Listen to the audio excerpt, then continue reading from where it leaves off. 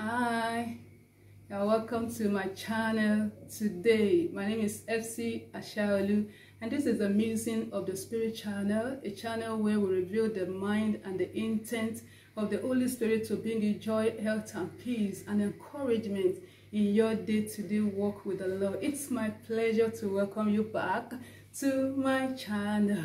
Welcome. If you're new on this channel, press the subscribe button and the notification bell so that each time I release excellent and great video, you'll be the first to get to watch them and to be blessed. Amen. Welcome to my channel. Today, I'm starting a series on the Holy Spirit. Uh, we already have a video of Holy Spirit baptism, which we are going to be referring to in our series on the Holy Spirit. I discover that as a Christian, you need the Holy Spirit to be able to successful as a Christian. You will not struggle, neither will you stress yourself unnecessarily when you have the Holy Spirit. So the first topic that we'll be considering in this series is who is the Holy Spirit?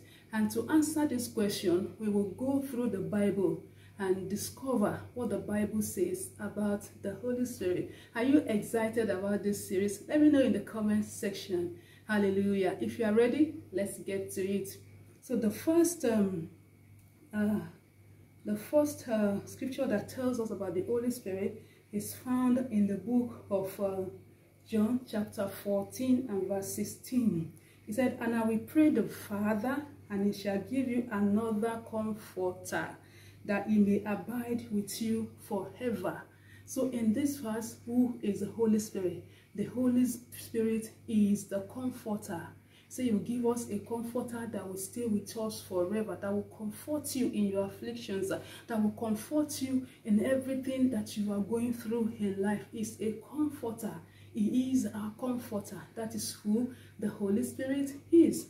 The next Bible verse that talk about who the Holy Spirit is is found in the book of John chapter 16 and verse 13. And it reads, Howbeit, when he, the Spirit of truth, is come, he will guide you into all truth. He shall not speak of himself, but whatsoever he shall hear, that he shall speak, and he will show you things to come. So in this verse, we can see that the Holy Spirit is referred to as the Spirit of truth. The Spirit of truth that will show us all things. It will, it will guide us into all truth into truth on different issue the truth of about marriage the truth about business the truth about life the truth about healings the truth about just name it. The holy spirit is the spirit of truth. Amen. Another verse bible verse that to show us who the holy spirit is is taken from the book of second peter chapter 1 and verse 21 and it reads For the prophecy came not in old time by the will of man, but holy men of God spake as they were moved by the Holy Ghost. This shows that the Holy Spirit is the author of scripture. He, he, he was the one that moved the men of old to write the scripture down. So he's the author of the scripture. Amen. And also in John, John chapter 16, and verse 8, the scripture says, And when he is come, he will reprove the world of sin and of righteousness and of judgment. This shows that the Holy Spirit is also known as um, convictor of sin. It's the one that convicts uh, people of their sin. It will let you know when you fall short of the glory of God. It will let you know when you have committed sin. Amen. So the next Bible verse that shows us who the Holy Spirit is is in the book of Second Corinthians chapter 1 and verse 22. And it reads, Who hath also sealed us and given the earnest in the, earnest of the Spirit in our hearts. So the Holy Spirit is our seal, is the seal of the believer. Amen.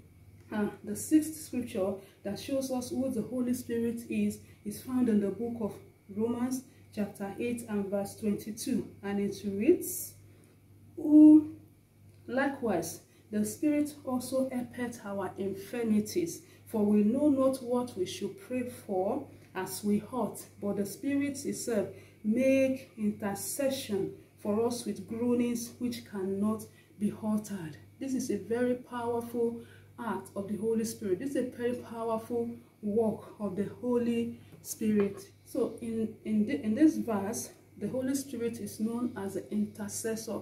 He helps us to intercede. He helps us to pray. Amen. He makes intercession for us with groanings that cannot be uttered. It's the one that helps us to pray. Hallelujah. I just released a new video that says um, how to revive your prayer life. And I mentioned in that video that it is important that you have the Holy Spirit because He is the one that will help you to make prayer, you know, without stress. It will help you to pray without being making prayer to be boring. If you want to watch the video, I will link it at the top of this video so that you can go and watch it and also learn from it. Amen. The next verse that shows who the Holy Spirit is is taken from the book of Matthew, chapter 3, and verse 16. And it reads, And Jesus, when he was baptized, went up straight away out of the water. And lo, the heavens were opened unto him, and he saw the Spirit of God descending like a dove and lighting upon him. In this verse, we can see that the Holy Spirit is described as the Spirit of God the Spirit of God. That is who the Holy Spirit is. Amen. And the next scripture is taken from the book of John, chapter 14 and verse 26. And it reads, But the Comforter, which is the Holy Ghost, whom the Father will send in my name, is that he shall teach you all things and bring all things to your remembrance whatsoever I have said unto you. He said the Holy Spirit will teach us all things. Those people that teach are what? They are teachers. So the Holy Spirit is our teacher. The Holy Spirit teaches us, teach, teaches us what we don't know. I have received numerous, a countless number of lessons from the Holy Spirit that He has taught me in my business, in my marriage, in my spiritual life. So many lessons that I can't even begin to you know, recount. So the Holy Spirit is our teacher.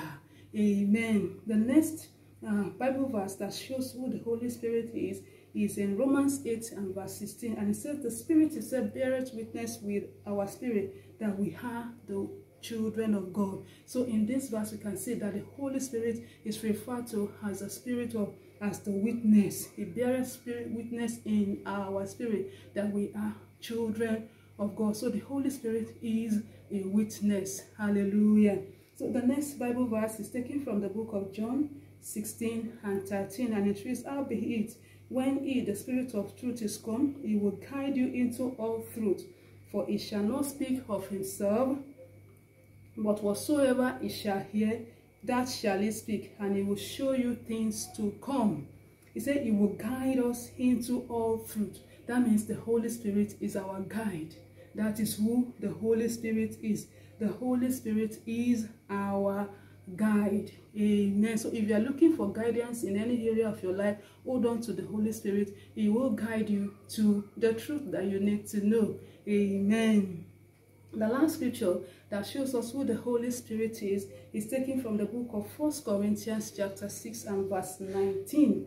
And it says, What? Know ye not that your body is the temple of the Holy Ghost, which is in you, which you have, which you have of God, and you are not your own. Amen. So in this Bible verse, we can see that the Holy Spirit is referred to as the indweller of believers. He dwells in us. So he is the indweller of believers. So these are the verses and much more that I did not mention here. These are the main major verses that tells us who the Holy Spirit is. So go through these scriptures and get to know more about the Holy Spirit because you know him. You need to know him to excel in your Christian work. You need to know him to excel even in any area of your life. Yes, it's there for us. It tells you what to do in your business, how to grow your business, how to live your life. I have benefited immensely from uh, having the Holy Spirit in my life and I'll be sharing my experiences and testimonies as we go on in this series.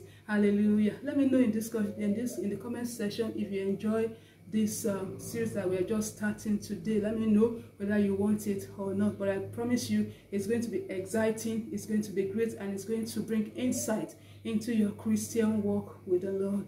Amen. Thank you for watching. And if, like I said earlier, if you need to know more about the Holy Spirit, there is the link for uh, the Holy Spirit, the baptism of the Holy Spirit. You need to get baptized in the Holy Spirit and begin to speak in tongue. Amen. So I will leave the link at the top of the video. Hallelujah. Thank you for watching and have a great day. Bye bye.